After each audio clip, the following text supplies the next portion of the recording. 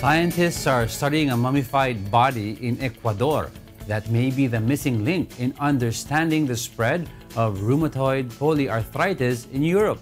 Aileen Cerrudo tells us why.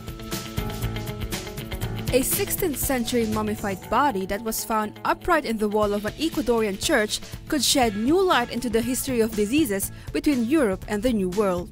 The guano mummy was first discovered in 1949 after an earthquake exposed part of a wall stuck behind the wall for centuries and protected from rats and flies.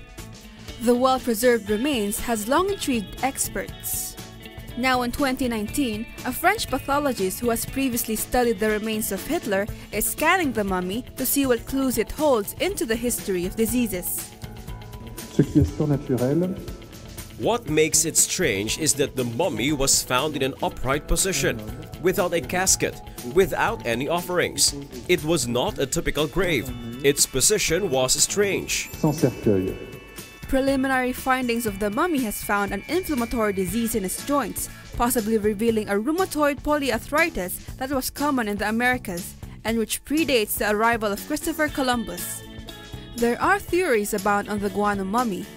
Urban legend has dubbed the man a local friar, but experts believe the burial of the individual does not suggest he held a religious title.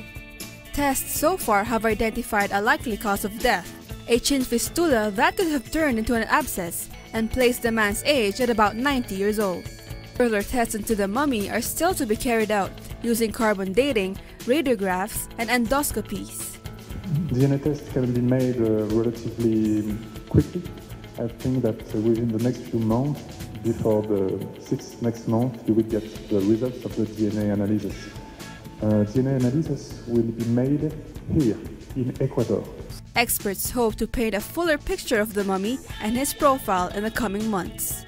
Aileen Cerrudo, UNTV, News and Rescue.